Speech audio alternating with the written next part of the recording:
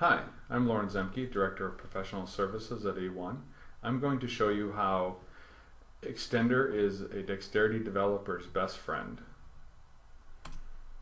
We're going to create an Extender window that is attached to the Microsoft Project Maintenance window to store some additional project information. Call our window Project Info.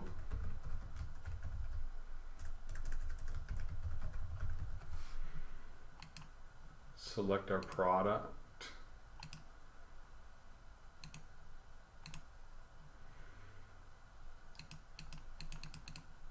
Browse to our project maintenance window.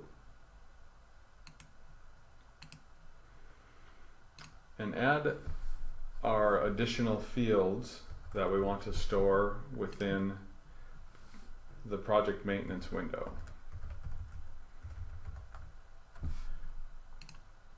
We'll create our own custom project type list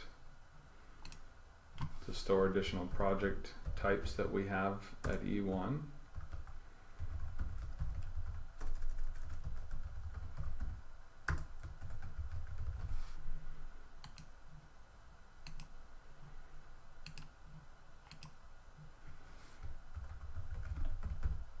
We'll store estimated hours.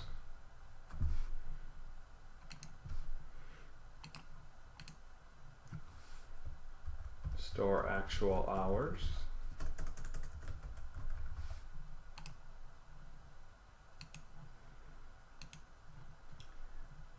And then store a status of whether the project has been approved or not.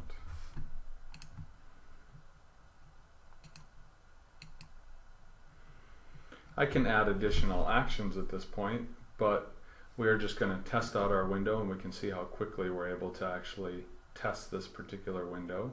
We need to add a key field to link project information. So we'll do a search for the PA project number field because that is going to be our key that we are going to store our extender data to our project maintenance table. Once we do that, we will save. Um, we will get a message about creating a Smart Connect view if you have Smart Connect loaded. We will talk about that a little bit later, so I'm going to click No for that. And we can go to Cards, Project, Project Maintenance, and pull up a project. I can click the additional menu and instantly see that I can pull up my new project information window. So in a few short minutes, I've been able to actually create a window to store additional information against a project um, without having to go through a complete compile or deployment of a dexterity form. I can test this form immediately and make sure it actually works. So we'll choose extender, we'll enter in some estimated hours, some actual hours, click save. I can browse to a new project, click additional project information, see that that information, we don't have anything there. Go back to our original project and actually see that the information was saved for this project. So again, I didn't have to create a custom table I didn't have to make sure that that table was created or make sure that that form was deployed or provide security for this form if I didn't need to. It was immediately available to my user just by creating that form in Extender. So now we'll show some additional things that we can do with this with this Extender window. We'll go back into Extender open up our form. So one thing most um, projects require with a entry form is the ability to view that information during inquiry and not just during data entry. So I have this inquiry button where I can now choose to add an additional um, inquiry window. So this will be my project info inquiry. I'll choose the same prod, uh, same product and the same series. And you can see that all the forms and windows are exactly like you would see with inside of Dexterity. So I want my project maintenance project inquiry window and I'm going to mark this window read only. That means that I'm not able to make any changes to that particular window or data when I am on uh, the project inquiry window. So we'll save that. We'll click OK. Save again. And again, I'm going to say no to creating the Smart Connect view at this point. So I'll go to my inquiry window, choose project, project. Now I can select my ParkNet Sys project and we see we have the additional menu option and I can choose project info inquiry and you'll see that we actually have our project information as read only. I didn't have to write any additional form or any additional process or set up additional security for creating an additional inquiry window just by marking it read only. We have the exact same functionality that we'd have um, without writing any additional code for that inquiry window. So another piece within most dexterity development projects that I've seen is the need for being able to import data. So I've already mentioned before that if you have Smart Connect loaded, when you actually um, are logged in as SA and you save a project, you'll notice we've gotten the message about creating a view. I can create a view for any extender window or set of data that I can use for data imports or for reporting purposes just by coming into the view section of extender clicking new. I'll give my view the same ID as I have for my window, which is a requirement for Smart Connect.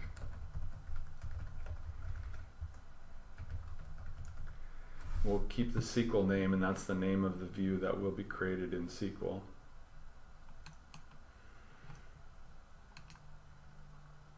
We'll add our extender window ID Click add, we'll see the additional fields that we have assigned, mark all. And once I click save, it will actually create a view inside of SQL Server that we can use for any reporting that we would want to do, such as SSRS reports or data imports. It actually will create an updatable view that you can write data to if you, uh, instead of writing directly to extender tables, you can actually do write update statements against this view to update the data in this particular instance. So we will save that. And I'm going to open up Smart Connect.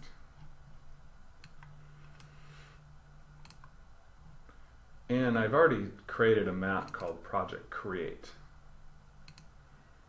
And with that, we actually have a, uh, a map where we'll just go ahead and create some project information.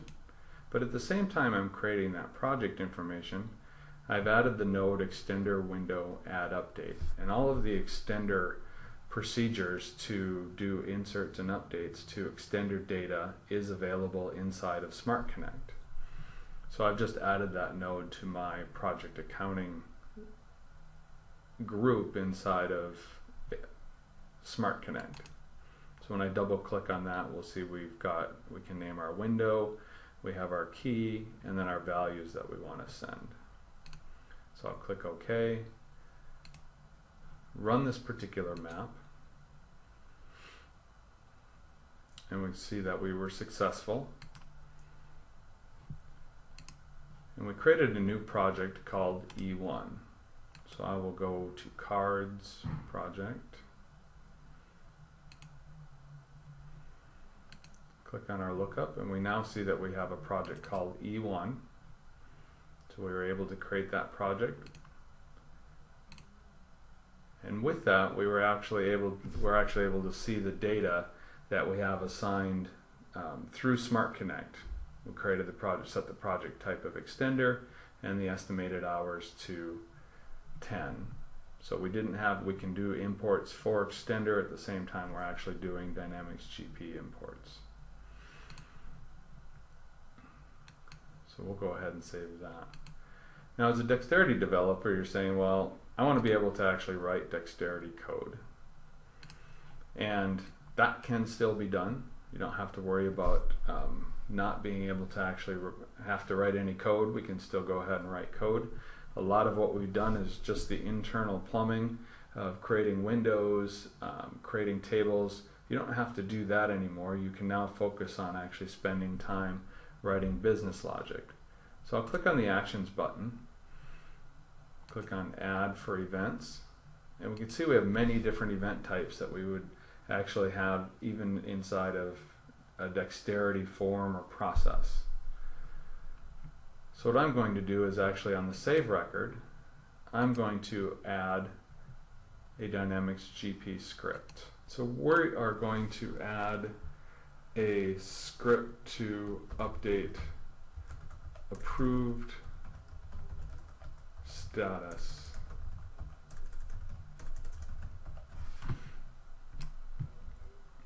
And I've just pasted in my dexterity script.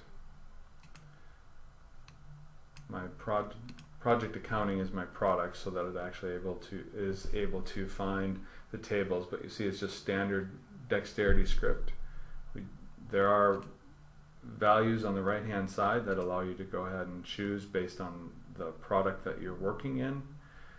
Um, for so you don't have to remember all the names of the tables or script commands. All of those are available to drag and draw or double click and put into the scripting window. I can validate my script. It says the script is valid. What I'm doing actually is setting the PA, the approver ID of the timesheet, um, any timesheets for this for this particular project to one, and then setting the type to to a value of one for my purposes. So we'll save that particular script. So now when I save the script, it's actually going to set the timesheet historical records for our project that we choose to um, to say that they are approved and we're going to choose ParkNet SYS again. So you won't see anything actually happen on the window, but that dexterity script, when I save it, I'm going to actually mark it as approved. We'll go ahead and click Save.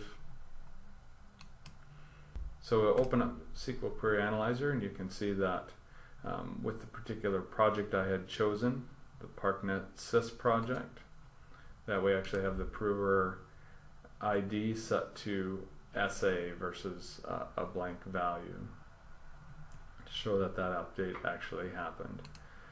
Now the nice thing about Extender is if I don't like what actually was my code or if I need to um, make some changes I can go ahead and open up my window and maybe I want to change this to be Lauren. I can do a quick validate, save, I can leave that window open. So at this point my script trigger has been saved. Uh, we'll open up our project.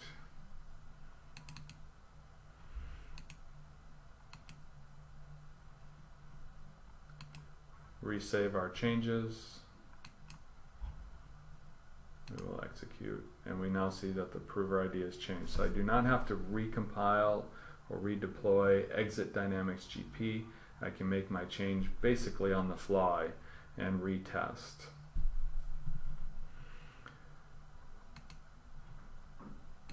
So the last piece of that I would like to show you when it comes to Dexterity's best friend is the next part is for reporting purposes. You'll notice in Extender when I had opened our, our project information, That's my view. On the inquiry window, you'll see that we have smart list integration. I go ahead and click add, and I can choose either uh, Dynamics GP smart list or a smart list that I've built with smart list builder. And I already have an object called project hours. And I can tie in my project hours smart list, my key field, to my key field inside of my extender window. Go ahead and click save. I've now linked my smart list um, object to my extender object and be able to view that piece of my extender information inside of my smart list. So without having to code any additional smart list information or do anything additional with that extender data, I'm able to bring that information inside of um, inside of smart list. So I've shown you how with extender being can be a dexterity developer's best friend. You can improve deployment time without having to have all of the users log out of the system. You can make changes directly inside of extender. You don't have to worry about creating plumbing for data imports, reporting purposes. You can make your changes on the fly that every user will have access to immediately. You can create your own custom actions. You don't have to worry about creating custom tables and making sure the table layouts are accurate. They're changed immediately when you change them in inside of Extender. You can create views based on Extender data for reporting purposes, smart list, SSRS reports, even Dynamics GP reports.